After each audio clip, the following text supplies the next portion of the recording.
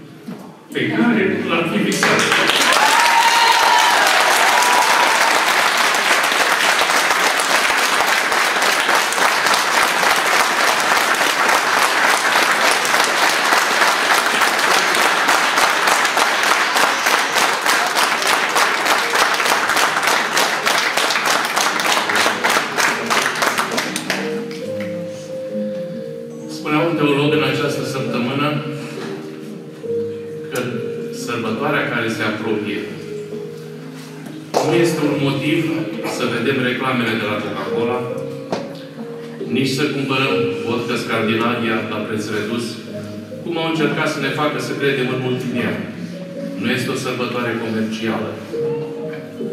Este o sărbătoare religioasă. Este sărbătoarea sufletului nostru. Dacă noi ne îngrămădim în centrele comerciale să cumpărăm tot ce se poate cumpăra pe fața Pământului și ne dorim o sărbătoare a Crăciunului în care să o facem lată, sensul sărbătorii este cu totul altul. Iisus a venit fără să facă zgomot. A venit cu smerenie. A venit cu dragoste. Și noi să-L primim tot la fel. Dacă ne-am pregătit prin post, cu rugăciune, cu smerenie, participând la slujbe, să-L primim cu toată dragostea noastră de creștini adevărați. Să dăm sens acestei sărbători, nu unul consumist, comercial, ci adevăratul sens religios al sărbătorii. Nașterea Domnului nostru Iisus Hristos. Dragii noștri, cu mare drag vă vom cânta în această seară. Este ultimul concert înainte de Crăciun, în care am avut, în perioada în care am avut timp să ne maturizăm, să învățăm mai bine piesele, de ce nu? Să nu mai bâlbâim versurile, nu? Dar și să adâncim expresia artistică a acestor piese. Sperăm să vă surprindem în mod plăcut în această seară. Corala Roman Melodu, înființată de Părintele Gabriel Popa, acum 12 ani,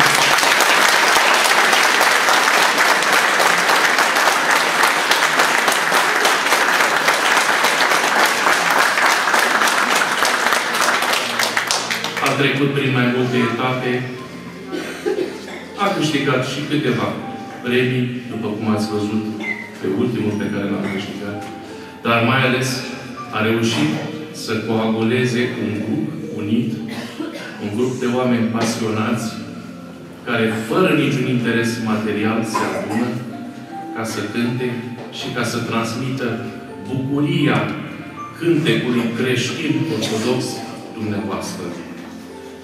Vom începe această seară cumpărind frumos ziurel de ziua, în care veți auzi pe parcurs și un mesaj citit de Părintele Ștefan Nanu, de la parohia Aprilia, care sperăm să vă meargă la suflet. Ziurel de ziua.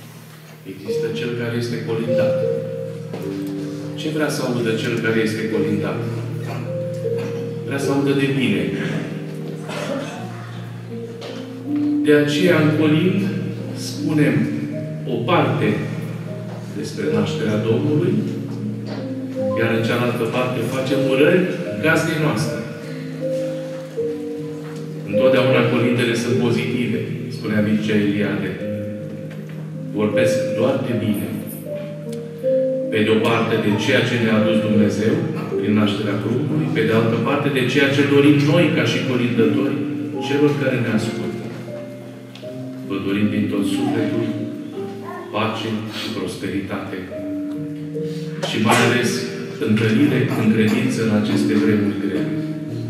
În continuare, linul lin, un colind frumos tradițional, în interpretarea Părintelui Andrei Petru Aslan. Dirigează dirijorul nostru secund, Vasilică Amuzat.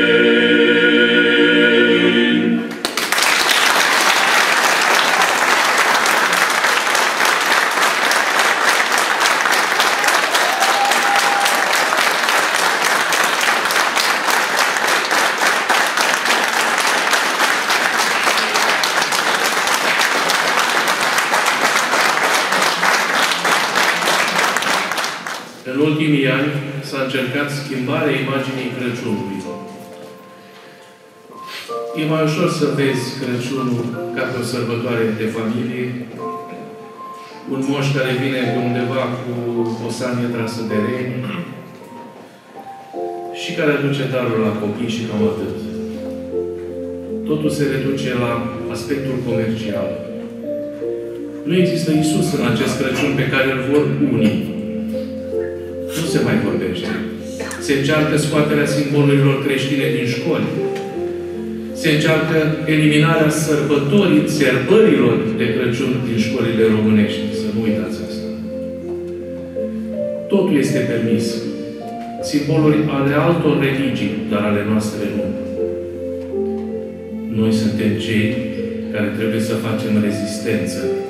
Noi suntem cei care trebuie să spunem clar și răspicat că este sărbătoarea nașterii Domnului. Nu este sărbătoarea în care vine din Scandinavia nu știu cine cu darul la copii. Cel mai mare dar este venirea În continuare, un triptic de colinde al lui Tiberiu Credicianu, trei colinde, unul după celălalt, foarte frumoase, care sperăm să vă ducă cu gândul la copilăria pe care cu siguranță ați avut-o frumoasă și cu mai multe colinde, poate, decât astăzi.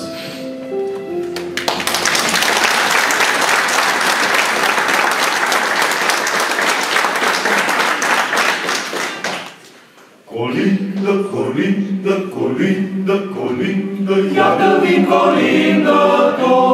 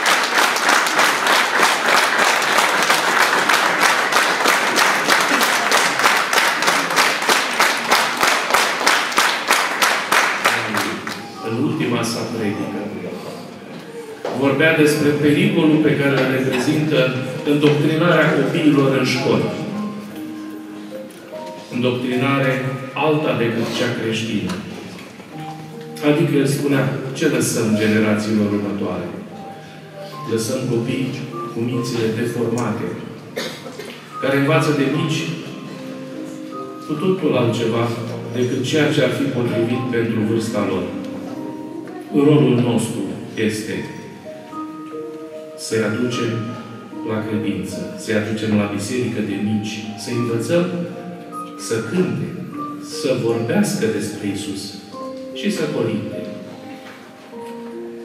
În continuare, deschideți ușa creștine, Părintele Ștefan Nanu și colegul nostru Gabriel Chidic.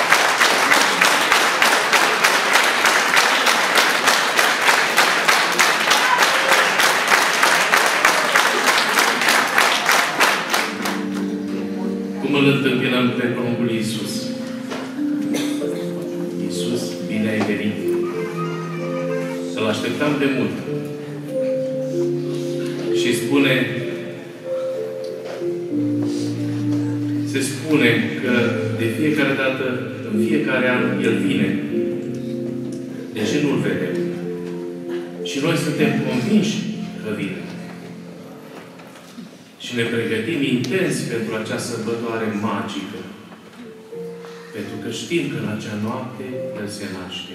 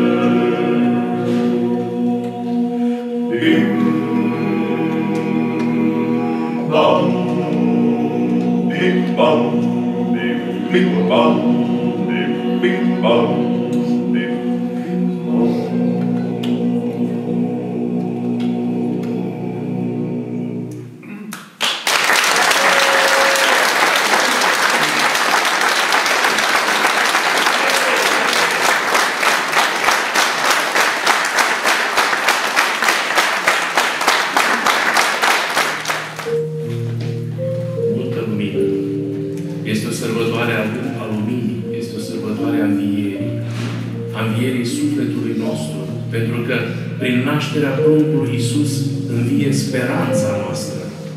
Speranța noastră de mântuire. Nu știm ce va face pruncul pentru noi. Vom vedea mai târziu la sărbătoarea învierii. Dar știm că a venit cu un scop. Și când, credit, când colindătorii veneau la casele oamenilor, le spuneau, ia sculați voi gaz de mari, ca și cum le-ar fi spus, treziți-vă, să-L întâmpinăm pe prunc așa cum se cuvine. Gabriel Chichic, ne ascultați voi, de mare.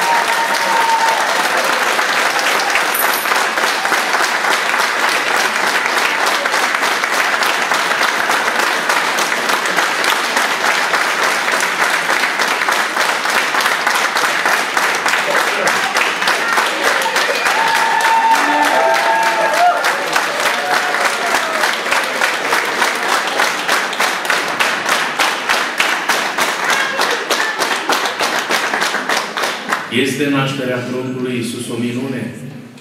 Este. Pentru că Fecioara Maria nu avea bărbat. În momentul în care ea a rămas însărcinată, așa cum i-a vestit Arhanghelul, ea nu avea bărbat. Iisus era Dumnezeu și om. Dumnezeu pentru că era de la Duhul Sfânt și om pentru că era din Fecioara Maria, care era un om adevărat. La fel cum este fiecare femeie, cu înclinații spre păcat, așa cum avem toți. De aceea noi ortodoxi nu acceptăm Imaculata Concepție. Fecioara s-a fi născut fără de păcat. Că dacă s-a născut fără păcat, înseamnă că nu era om adevărat. Ori ea este om adevărat.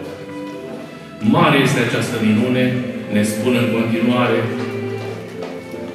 dirijorii noștri, Părintele Gabriel Popa și Părintele Andreea Slan.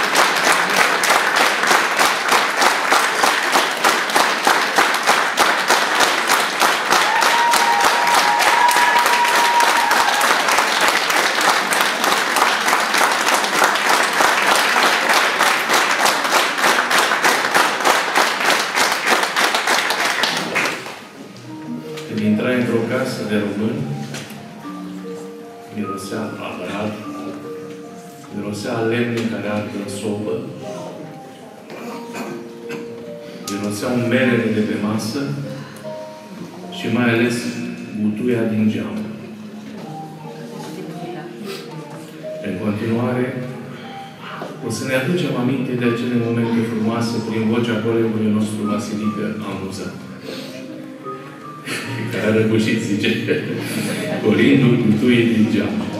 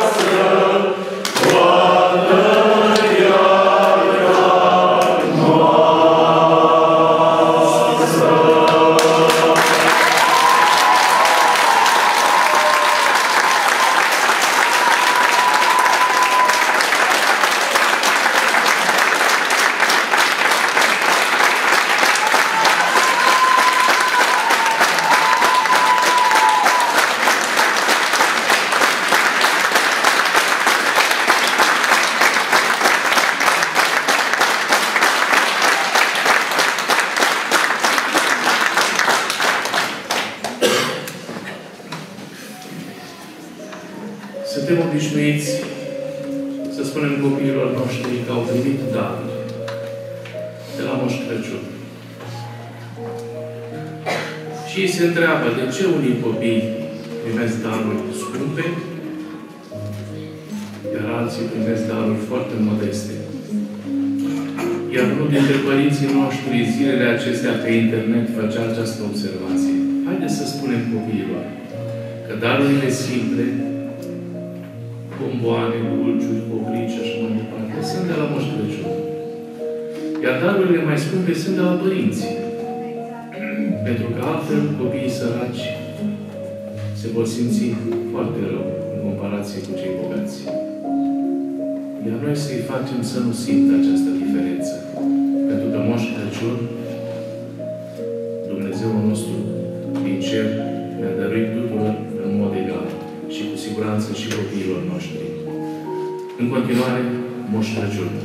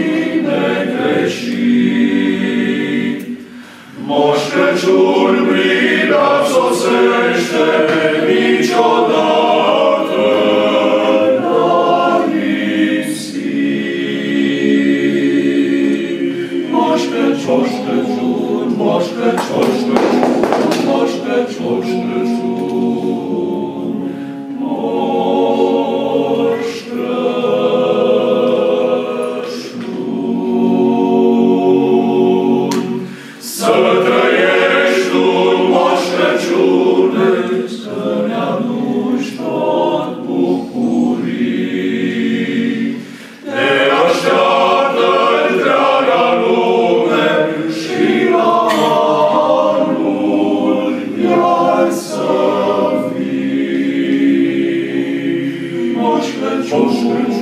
Moș Crăciun, Moș Crăciun, Moș Crăciun, Moș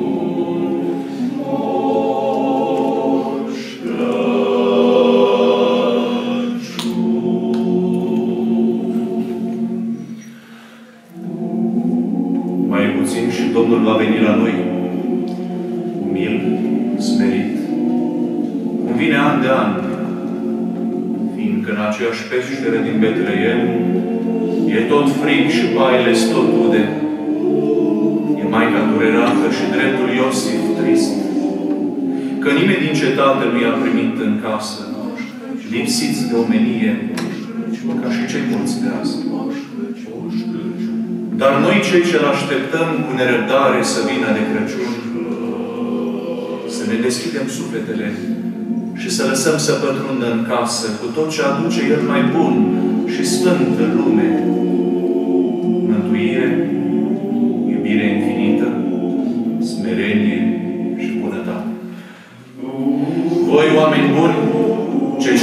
Ascultați colinda noastră, să nu uitați de semeni și de-a lui Hristos poruncă să fiți asemeni pruncilor, blânzi, cu minți, care îl așteaptă pe Moș Crăciun și la fel să căutăm noi, prin viață, mântuirea.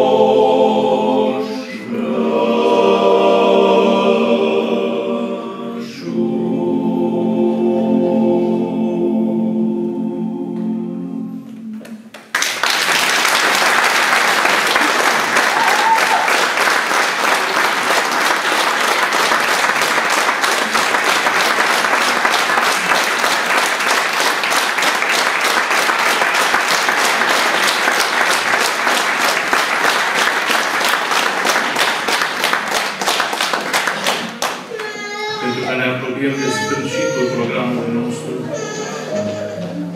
simt nevoia să spun că cele două texte pe care le-ați auzit în această seară sunt pornite din sufletul și din inspirația Părintelui Andrei.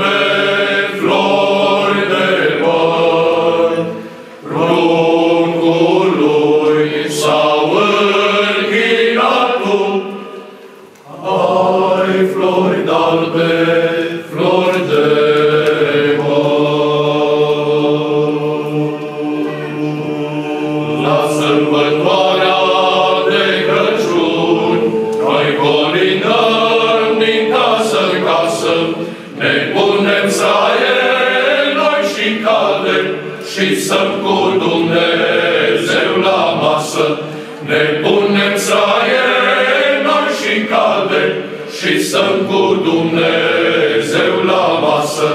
Să se încălzească lângă vatră, că vine și El de departe.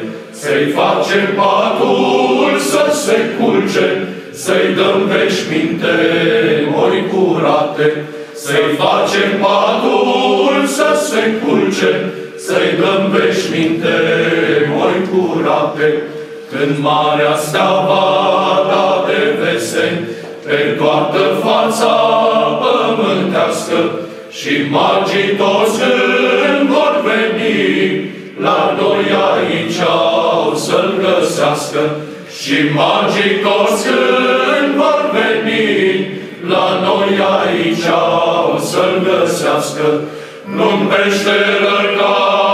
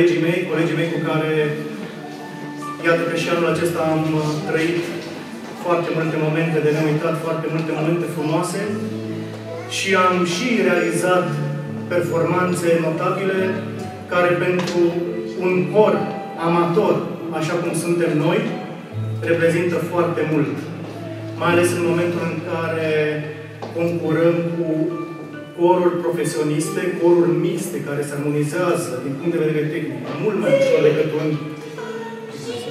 decât un cor uh, masculin, bărbătesc. Și iată că prin foarte multă muncă, prin foarte multă jertfă, prin foarte mulți nervi, prin foarte mult stres, prin foarte multă răgușeală, răceli și așa mai departe, și așa mai departe, familii, locuri de muncă, unii vin de la sute de kilometri și nu mă feresc când folosesc termenul 5, am învățit de la 10 de kilometri. Reușim să ne întâlnim de două ori pe săptămână și să realizăm aceste lucruri pe care dumneavoastră ați auzit în această seară.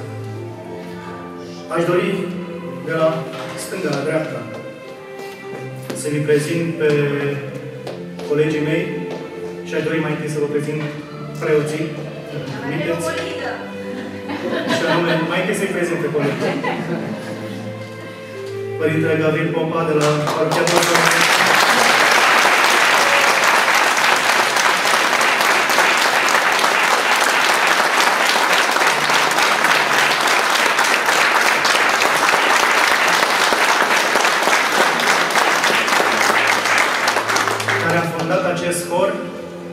parcă nu mai este atât de important acest detaliu, ci detaliul pe care vreau să vi-l pun la inimă și pe care să nu uitați, este că cu o situație de sanitate, de sănătate extrem de precară, a reușit să vină la absolut toate repetițiile și la absolut toate concertele, așa cum tu acum l-ați auzit și așezat pe, pe scaun, și a venit și ne-a susținut și acolo, când am avut mai multă nevoie de El, Sfinția sa ne-a ajutat.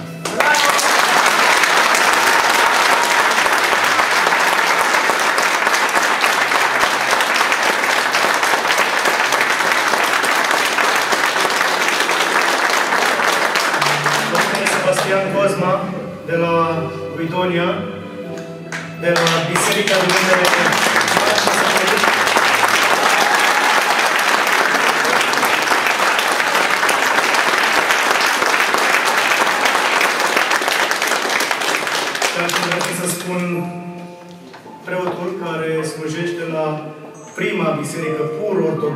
din Lazio, construită de la zero, cu temelie, cu ziduri de beton, în uh, stil românesc, maramureșan, sădmărean, am binat acolo o întreagă Românie.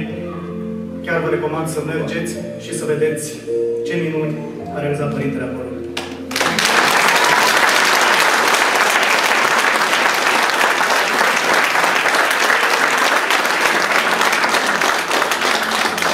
Ștefan Nan, un părinte deosebit, un părinte pe care anul ăsta mi l-am dorit cu orice preț. Înapoi în cor, pentru că și Sfinția sa a fost membru fondator al acestui cor. Și îi datorez foarte mult, îi datorez în primul rând profesionismul de care dă dovadă la fiecare repetiție și exigența pe care mi-aș dori să o simt din partea tuturor colegilor mei, de foarte multe ori,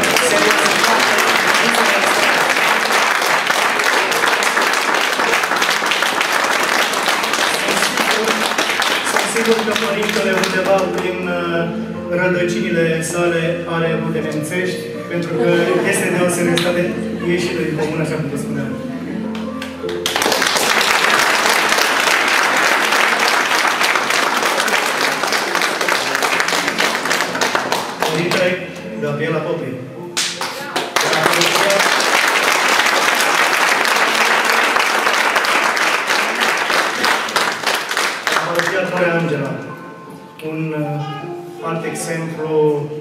De seriozitate și de smerenie totodată. Un exemplu pentru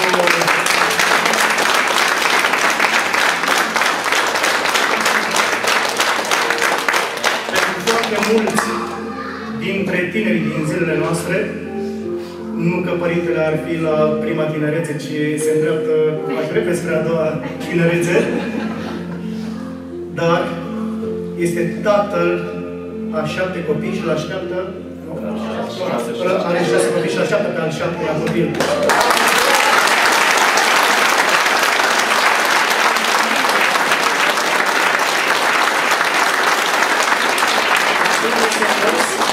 La fel de serios și la fel de dornic de a învăța și de a-și aduce aplombul în această corală. Părintele Vasilica Amuza, care este la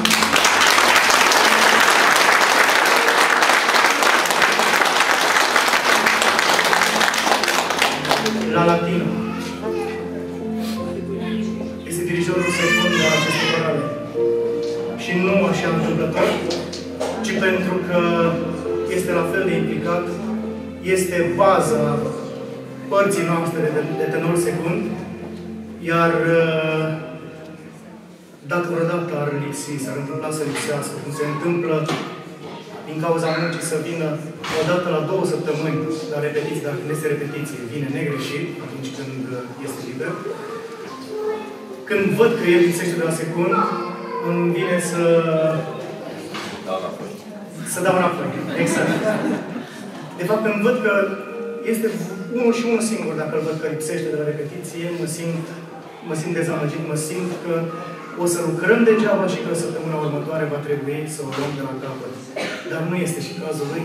Adică el își învață partiturile mereu acasă și vine întotdeauna cu ele pregătite.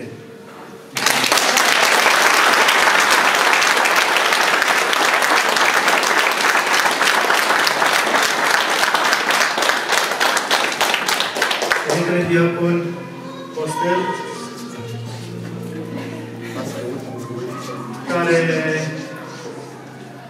participă, slujește la atunci când nu are evenimente, pentru că de profesie mai lucrează și ca fotograf la diferite evenimente, nunți, botezuri. Și alte lucruri, și alte evenimente. Este un om cu o cultură vastă, cu o cultură, aș îndrăzni să spun, peste media noastră fiind și șef de promoție într-o generație extraordinară cu oameni.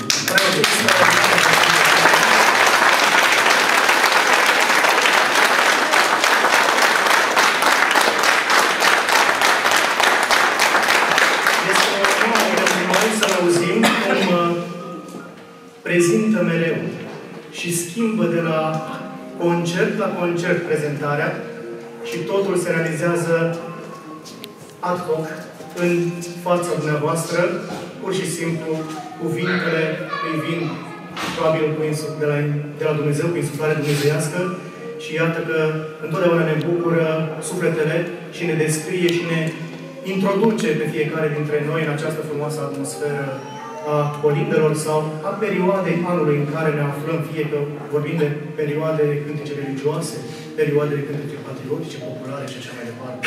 Vă mulțumim!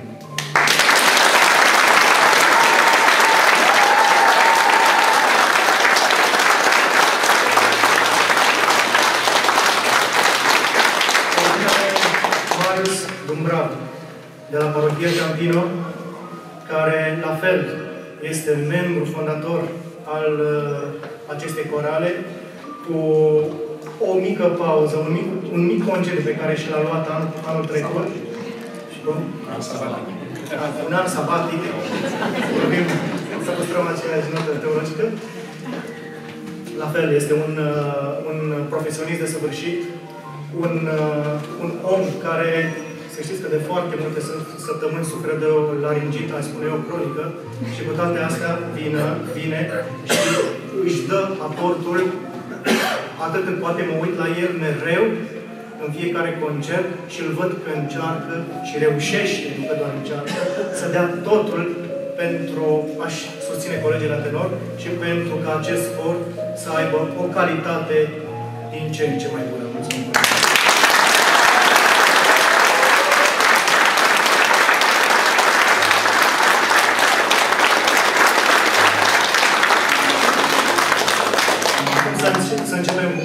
Care nu ne sunt preoți, care nu sunt preoți, dar care ne sunt la fel de dragi ca și cum ar fi preoți. Nu că noi preoții ne iubim atât de mult pe cât pare. Noi ne iubim. Alții ne iubim. Adrian Moșteanu, care provine de la aceeași facultate de teologie ca și mine, la Constanța. Amândoi am activat în corul profesionist în Arhiepiscopia Tomisului, la înaltul Teodosie. Îl cunosc foarte bine și este de un potențial extraordinar și o voce care sensibilizează orice suflet înghețat. În această seară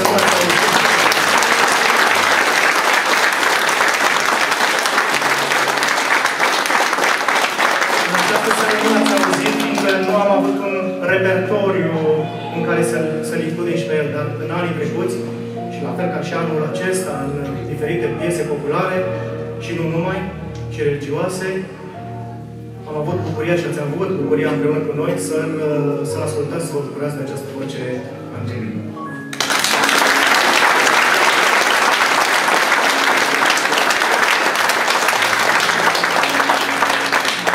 Aurelian Cărușcă cântăreț la parohia Roma 5, la Părintele Gheorghe Militaru, la fel, cu foarte multe, cu foarte mari probleme de sănătate despre care nu vreau să vorbesc, reușește să vină și despre, despre el vorbea Părintele Costel mai devreme când spunea despre mine că merg și cu trei drumurile și străzile și merg și el de acasă, îi duc la repetiție și duc înapoi acasă și apoi ajung și eu după o oră jumate acasă la mine. Uh, la fel, vine pe ploaie, vine pe frig, de multe ori mă așteaptă prin diferite, prin diferite stații. Eu plec mai târziu ca de fiecare dată, întârzi ca de fiecare dată și el săracul, fie că plouă, fie că este frig, este exact în locul unde mi-a zis că mă, că mă așteaptă. Și merge și își dă uh, tot, tot, își dă toată silința pentru a învăța aceste partituri care, credeți-mă, nu sunt deloc ușoare și nu are deloc studii muzicale, ca și mulți de altfel.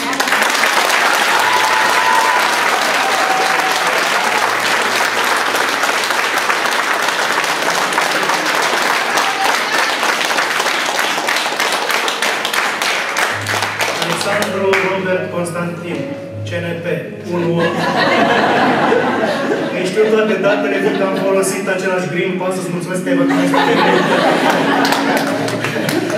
De multe ori intram uh, sau eram în același timp la două restaurante diferite cu același Green Pass. Bine că nu era un sistem de date când îl arestau. La fel este un, uh, un coleg la care eu țin, țin foarte mult și este la fel extrem, extrem de serios și se străduiește pe cât, pe cât uh, poate să nu dezamăgească și să ne vină în ajutor tuturor colegilor în acest cor.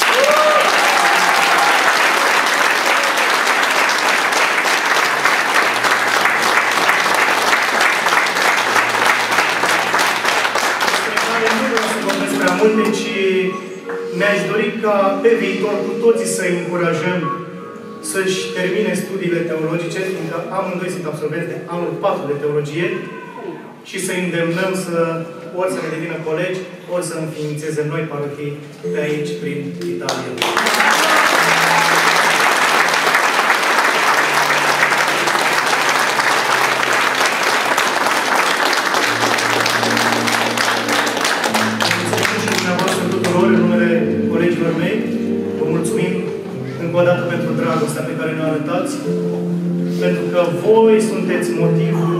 Țineți împreună.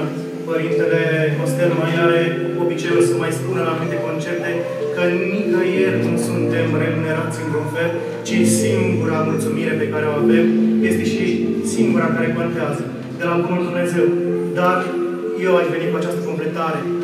Voi sunteți stimulentul vizibil și palpabil care ne determină să mergem mai departe și care ne determină să lucrăm mereu și mereu să devenim mai buni pentru dumneavoastră și pentru trăsăturile feței pe care vi le regăsim în urma cântărilor noastre și pentru aplauzele interminabile